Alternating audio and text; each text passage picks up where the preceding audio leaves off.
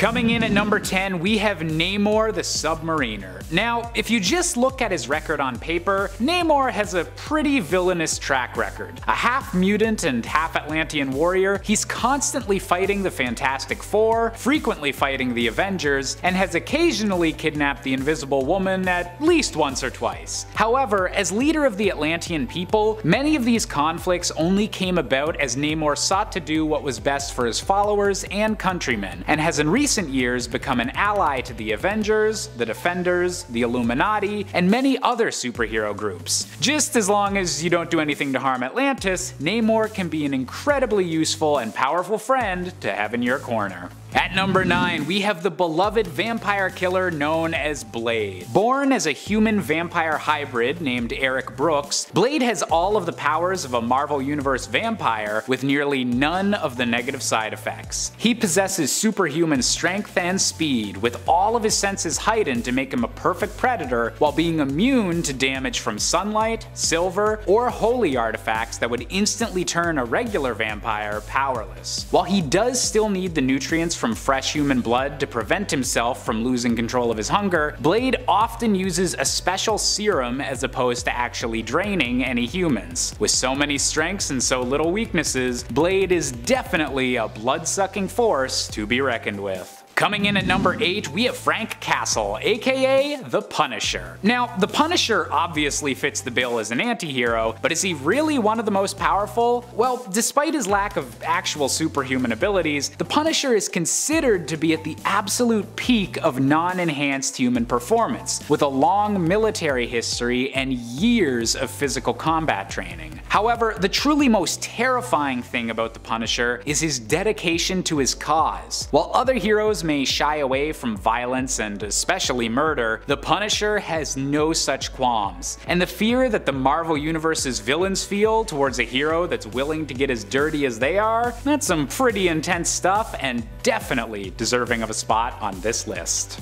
At number 7, we have Johnny Blaze, aka the Fiery Ghost Rider. After Johnny made a deal with the villain Mephisto, a demon that just loves to try and steal the souls and happiness of various superheroes for some reason, he became the Ghost Rider, capable of combining his form with that of a spirit of vengeance known as Zarathos. Completely immune to any sort of physical attack unless it was made by a weapon of angelic origin, Johnny is able to manipulate and control Hellfire, one of the most dangerous substances in the entire Marvel universe that burns not only physical objects, but the soul or essence of them as well. While he's veered towards the dark side with his hellish abilities several times over the years, Johnny overall strives towards redemption and using his demonic powers for something at least slightly close to good. Coming in at number 6, we're gonna have to go with the famous, or should I say, infamous Deadpool. Originally a villain for the X-Force, Deadpool has over the years turned into a charming and fourth wall breaking anti-hero that's always trying to do some form of good, but sometimes shows it in some pretty odd and violent ways. However, the most notable aspect of Deadpool's powers and what makes him so powerful is his sheer inability to die. No matter how many times you stab him, shoot him, or chop some bits off, Deadpool will always bounce back with at least a couple of bad jokes. Add in his not insignificant skill with all manner of firearms and weaponry, and you've got an explosive anti-hero that you wouldn't want to mess with. Coming in at number 5, we've got Loki, and while he may may not be the Crown Prince of Asgard, he's definitely the Crown Prince of changing allegiances. While Loki's motivations and goals have changed frequently over his vast history, with the only consistent characterization being that of a wild card, his strength and the level of his powers has maintained a particularly high quality. Combining the strengths of both his frost giant genetics and his Asgardian upbringing, Loki would be formidable even without his mastery of magic and deception, showing that power isn't just about lifting heavy things or swinging a magical hammer, but can be just as effective scheming behind the scenes. Plus, you know, being as handsome as Tom Hiddleston probably doesn't hurt. Coming in at number 4 is the underrated hero the Sentry, an expert on being torn between good and evil. While I've spoken before on this channel about the Sentry being one of the most physically powerful beings in the entire Marvel multiverse, the most interesting aspect of his powers is his manifestation of the Void, an equally powerful dark version of his Power of a Million Suns based abilities. With the Void and the Sentry actually being two halves of the same person, and their internal struggle being so devastating as to put the entire world at risk, the Sentry has actually had the world's memory of him wiped on several occasions, just to prevent the Void's powers from being abused. At number 3, we have the Scarlet Witch, also known as Wanda Maximoff. Originally believing herself to be the mutant daughter of Magneto, Wanda is in reality one of the most powerful magic wielders in the Marvel multiverse, and a conduit for chaos magic that allows her to rewrite reality to her will. While Wanda may have been one of the most notable Avengers for a time, she's also struggled with her powers during events that wiped mutants off the face of the earth and brought her own children into existence existence through willpower alone. No matter what reality-changing adventures she's caught up in, Wanda Maximoff will always be one of the most powerful beings in the entire Marvel Universe. Coming in at number 2, we've got the character that personally first pops up when I think of the word antihero with the iconic Venom. From Spider-Man's edgier looking costume to a bulky web-slinging supervillain to the lethal protector of San Francisco, Venom has held more jobs over the years than I have, which is honestly saying a lot. But with the recent defeat of the dark symbiote god known as Null, Venom has become the leader of the symbiotes and thus has one of the most unstoppable armies in the entire Marvel multiverse at his beck and call. Let's hope that Venom keeps on leaning on the hero part of antihero, because otherwise, this guy would be a serious problem for the rest of the universe. And finally, coming in at the number one spot, we have the leader of the Brotherhood of Mutants and the master of magnetism, Magneto. While some may know him as the most notable villain the X-Men have ever faced, labeling Magneto as solely a villain is simplifying his tragic story far too much. Having rejoined with Professor X in recent years and been a major contributor to the new mutant home island of Krakoa, Magneto's dedication to the mutant race is only dwarfed by the powers he possesses. Capable of altering the very magnetic fields that hold the universe together, Magneto's abilities go far beyond the he can control metal simplification that his name seems to suggest. Magneto was recently able to help terraform the entire planet of Mars, and the version of him from the Marvel Ultimate Universe was even able to nearly single-handedly wipe out humanity himself just by reversing the planet's polarity. AKA, he's definitely more powerful than something you'd usually associate with sticking to your refrigerator. Number 10. Stryfe. Stryfe is a pretty weird dude, especially as he's the exact staple of an evil clone.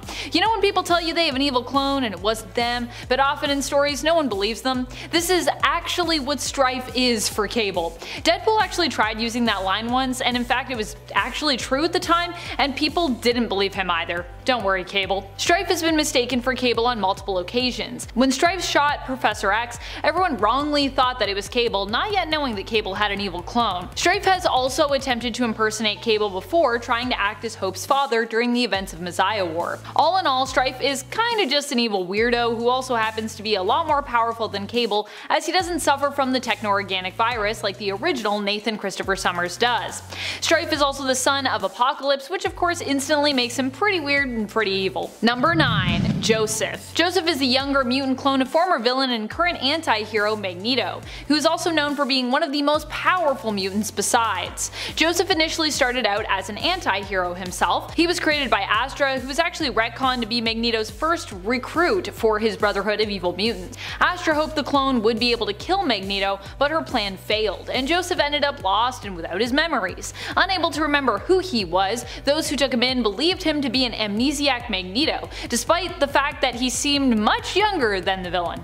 Initially, Joseph sacrificed himself to save the world from Magneto, but he would later be brought back by Astra, only to become a villain and new leader of his own brotherhood. And friends, before we move on to this next spot, if you are loving this list and like I said, you want more clones, you know what to do. Hit that like button, comment down below, and why not share for your friends that also love clones. Number 8. Mr. Sinister's Chimera. Granted, this at least wasn't as weird as I thought it could be. I was expecting it to get a lot weirder. Still, this clone was startling enough that the Hellions, specifically Empath, were forced to take it down. As was alluded to in Incoming, Sinister was hell-bent on creating a super powerful mutant that would be a Chimera, a blend of multiple genes. Even though he was technically sworn as a member of the Quiet Council and in general as a citizen of Krakoa to perform no more cloning. But you know Nathaniel Essex, Sinister's got a clone. Hence, in the Hellions issue number 15, we finally got to meet Mr. Sinister's newest creation and his pride and joy. This Chimera was a blend of Sinister and his Arakki rival Tarn the Uncaring, which I gotta say is a pretty weird yet epically powerful combo, making his Chimera one of the most powerful mutants out there and an Omega level mutant. Mutant clone. Number 7. Kaine Parker Kaine was a defective clone of Peter Parker, one of the multiple created by the villain Jackal. Kaine, unlike clone Ben Reilly though, was seen as being more villainous, or at least more questionable when it came to his methods. Kaine has always been known for having less of a moral compass and is also often associated with a more moody look with his long flowing locks. His signature ability is the Mark of Kaine, which is actually the same ability that allows Spider-Man to wall crawl. For Kaine though, the little spider-like hooks on his hands are more abrasive, which means that he can actually lay his hands on someone and use them to burn his victims. It's like the opposite of laying hands in D&D. Number 6. Linda the Duck. You guessed right, even Howard the Duck has a clone in the Marvel Universe. Linda the Duck was actually created along with another character's female version. The Collector is the one responsible for her creation, apparently making her for reproductive and potentially breeding purposes.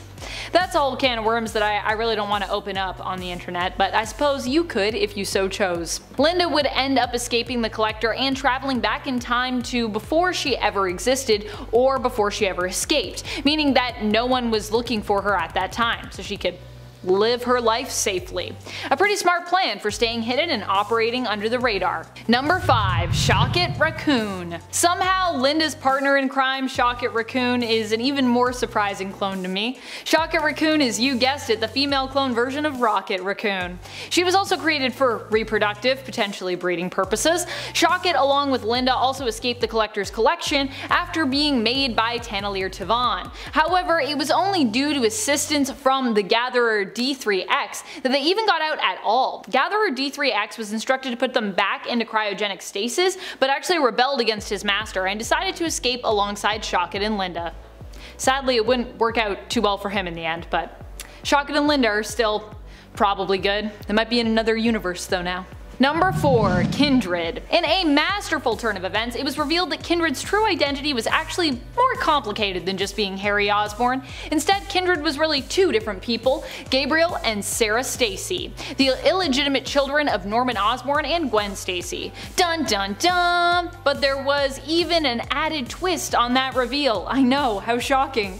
Gabriel and Sarah, it turns out, were actually creations of Harry Osborn. He combined his father and Gwen's DNA to make the two clones and implanted memories in Mary Jane Watson's and Norman Osborn's minds to make them think that the twins were really Norman and Gwen's biological offspring, making them think that Norman had slept with Gwen and that she had given birth to the twins secretly in France. However, this was not at all true it turns out, and the twins were actually just created by Harry to torment both his father and his old friend, Peter Parker, aka Spider-Man old friend slash rival. That's right, they retcon the retcon and I am so happy about it. These clones might be weird and ultimately degenerate pretty quick, but I'm really happy that they are weird clones and that the relationship between Norman and Gwen was simply an illusion. Thank you Mysterio, thank you Harry, Thank you, Nick Spencer. Number 3. Harry Osborn. And surprisingly, Kindred wasn't even the weirdest clone for me, involved in the most recent Spider-Man plot, which wraps up Nick Spencer's run on The Amazing Spider-Man. Harry Osborn also ends up having a clone, and it's revealed that the version of him that was locked up this whole time is the real Harry. Not the real Harry really, but a clone. We'll get to that in a minute. The Harry that we thought was Kindred was actually Gabriel and Sarah using chameleon disguise tech to impersonate Harry. However, it turns out this actual Harry isn't, well, actually Harry, who remains dead in the comics. He's actually a clone who was created by Norman after the death of his son, which it turns out he just couldn't live with.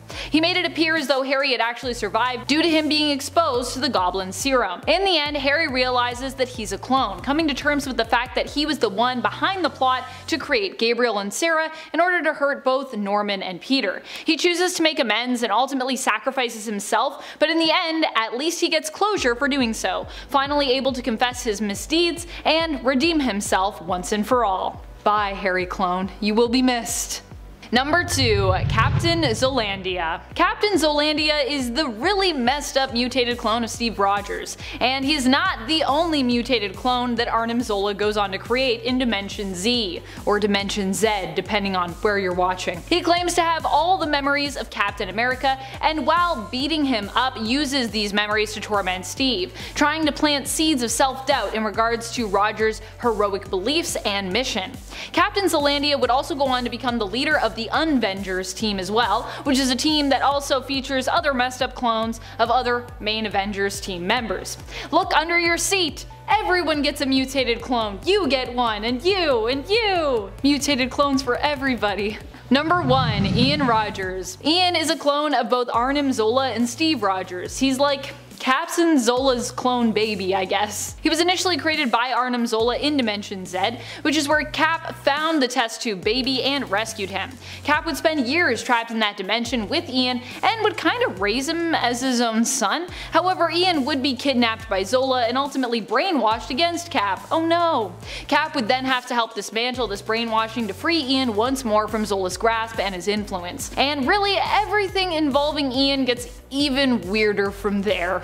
He would eventually go on to take up the name Nomad and for a time would become the ally and partner of Sam Wilson's Captain America. Number 10. Punisher 2099 Punisher 2099 is Jacob Gallows. He hails from the alternate dystopian future of Earth 928, where mega corporations pretty much own and run everything on planet Earth. Jacob himself is a police officer working for the public eye, a privatized police force owned and operated by Alchemax. After suffering an injustice with his brother, sister-in-law, and mother being killed after a hit was put on them by Kron Stone, the son of Alchemax's CEO, Jake decided to take matters into his own hands. Finding the war journal of the Punisher of years before, he was inspired to become a vigilante all his own, and ended up carrying on Frank Castle's work and title, but with the aid of future technology and tracking. Punisher 2099 would eventually end up with a bionic arm, which also made him an even better fighter than he was previously, boosting his skills. Number 9. Deathlok Prime. There have been a few different versions of Deathlok that we've seen throughout the years. All of them have been pretty futuristic in the sense that they are cyborgs, who also generally come equipped with advanced weaponry. But at least one Deathlok is actually also hailed from the future. The one I'm talking about here is Deathlok Prime, who came from the alternate future of Earth 10511, a reality where Roxxon, typically the corporation behind the creation of Deathloks in most series, have taken over the entire planet Earth. Deathloks were employed in this future in a sort of Terminator-esque Skynet way to squash the resistance by traveling back in time and killing the enemies of Roxxon to prevent any of them from rising up in the future.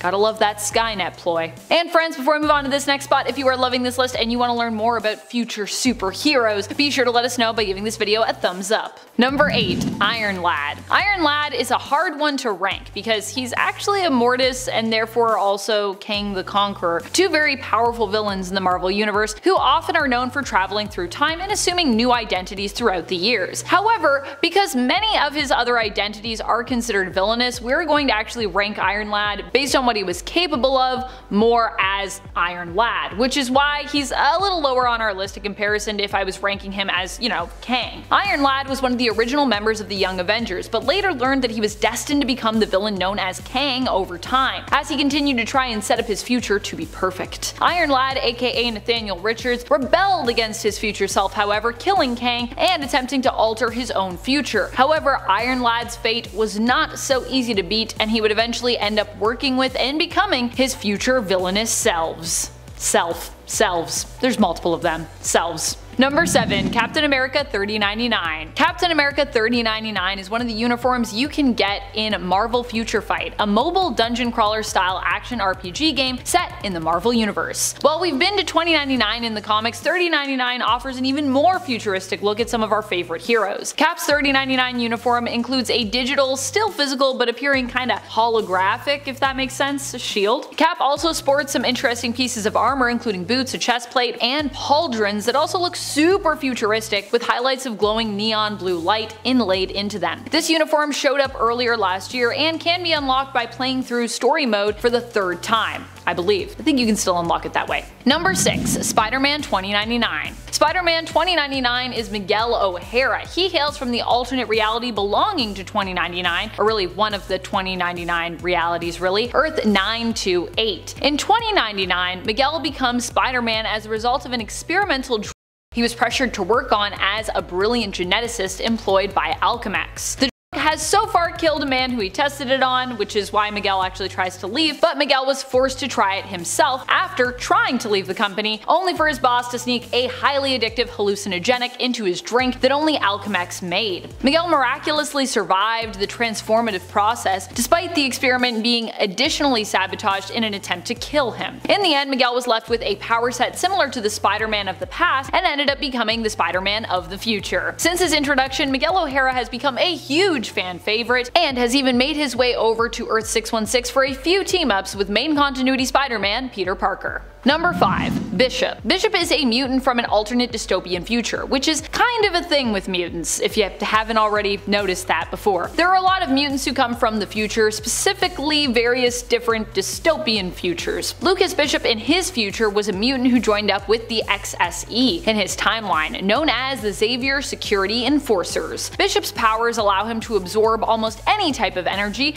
including kinetic energy, even energy from a snowfall, store upset energy, and and disperse it using it to boost or heal himself or to fire concussive blasts at his opponents. Number 4. All-Father Doom In the year 2099, Dr. Doom becomes a hero. There were actually two Dooms who appeared, and initially it seemed like the Victor Von Doom that we'd come to know may not actually be the true Doom. After all, he was younger and unscarred at his first appearance. However, this would actually be explained in time, and it would be revealed that the other, more villainous Doom was a brainwashed imposter, Eric Zerny, in truth. In fact, there weren't even just two Dooms. There were, there were kind of three if you're counting Tiger Wylde, a cyborg who became dictator of Latveria. He didn't necessarily go by the name Doctor Doom, but definitely had a kind of Doom vibe going on with his metal cyborg self and being a tyrannical ruler of Latveria. The real Doom ended up being the last one standing in the end and used his power for good. True, he does set out to conquer the United States, but this is actually a good thing as he aims to do so for heroic reasons, wanting to take down the mega corporations who basically now control all aspects of the nation and its civilians' lives in the future. He even brings back S.H.I.E.L.D., which is pretty good, I think. Number 3. Cable. Probably one of the most powerful superheroes out there, period, is Cable. Cable is little baby Nathaniel Christopher Charles Summers, initially referred to as Baby Christopher in the comics, all grown up. Cable actually goes to the future and then comes back to the past after having a roller coaster of a life. He is the biological son of Scott Summers, aka Cyclops, and Madelyne Pryor, aka the Goblin Queen, and also Jean Grey's clone. Jean herself is also a mother to Cable, thinking of him as her own son, and having memories implanted in her mind of his childhood. So to Jean, she also is his mom. And to Cable, Jean is also his mom too. Being the child of such powerful mutants means that Cable himself is an immensely powerful telepath and telekinetic, despite the fact that he has to focus a lot of his mental strength on fending off the techno-organic virus, which he was infected with. He's also an immensely skilled combatant capable of time travel. Number 2. Cosmic Ghost Rider Cosmic Ghost Rider comes to us from a very bleak future where Thanos ends up winning the day. So many bleak futures in Marvel. And I mean Thanos really wins the day by the way, like in an awful way. Cosmic Ghost Rider was once Frank Castle who ended up becoming a spirit of vengeance but returned to Earth too late, after everyone was dead and there was basically nothing left to avenge. Driven insane by years of loneliness, he ended up becoming a Herald of Galactus and being granted the power Cosmic in a final bid to try and defeat Thanos. When this failed, he joined the Tyrant himself and became his own Herald, cause I mean what else are you gonna do? However, this reality was wiped from existence when a past version of Thanos met his older self who had destroyed almost everything in the galaxy at that point, King Thanos. Younger Thanos found him pretty pathetic and vowed to never become him, returning home and causing King Thanos' reality to crumble, and King Thanos to never have existed. However, Cosmic Ghost Rider would be given a place in Valhalla, and from there be given the chance to return to the world of the living by Odin himself, who sensed that he was unhappy in Valhalla. Cosmic Ghost Rider is not only super powerful at this point, but has also been around since the beginning of Marvel continuity now, having tons of knowledge about the universe as he ultimately decided to sit back and watch it all unfold, knowing that avoiding its demise was pretty much inevitable, because he already tried that. Number 1. Prestige. When it comes to Jean Grey and Cyclops, they really have more alternate or future kids than they do main continuity ones. Rachel Summers aka Prestige being no exception here. She hails from the alternate dystopian future belonging to Earth 811, where she is the daughter of her own reality's version of Jean and Scott. Although oddly enough on Earth 616, she does pretty much also think of the main continuity versions of her parents as her true parents as well, which I guess in a way they sort of are, it's just they didn't end up going down the path that leads to Earth 811. Earth Earth 811 is the Days of Future Past reality to give you an idea of just how dystopian we're talking about here. Rachel is even more powerful than her brother from a different reality, Cable. She also has been a host for the Phoenix Force and has better control and use of her abilities and powers. She also doesn't have the techno-organic virus distracting her and eating away at some of her power, meaning that she operates almost always at full power levels, which is pretty intense because Rachel's really powerful. Also, I dare everyone to go back and now count how many times I said dystopian future in this video. I feel like I said that a lot. Coming in number 10, we've got Wasp. Janet Van Dyne, synonymous with stinging insects across the world. She's also known for infecting important individuals and wreaking plenty of havoc. We're not really sure how or when she got infected, but that doesn't really matter in the grand scheme of things. On Earth 2149, the zombie plague spread quickly and she had a lot to do with it. Hero zombification doesn't turn the supers into shambling brainless creatures like so many other apocalypses do. It instills them with a thirst for blood, a hunger for flesh, and the ability to create even more zombies. So of course, Wasp went to find her husband, Henry Pym, aka Giant Man. We'll come back to that in a bit. After infecting Pym, they got right down to business. She called a false Avengers Assemble and picked off the folks who ended up showing up, eventually discovering that Pym was hiding T'Challa from her. Overcome by zombie hunger, she attacked Pym but was decapitated. Still alive mind you, but without a body to call her own. So for a while, Wasp remained just a head, traveling through the universe in what can simply be called a jar. Eventually she managed to procure a cybernetic body for her zombie dome.